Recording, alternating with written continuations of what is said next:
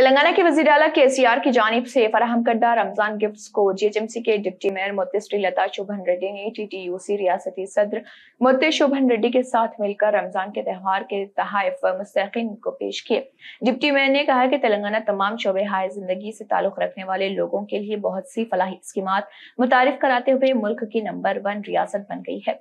उन्होंने कहा कि तमाम मजाहब की जरूरियात के मुताबिक फलाही स्कीमें मुतारफ कराई गई हैं।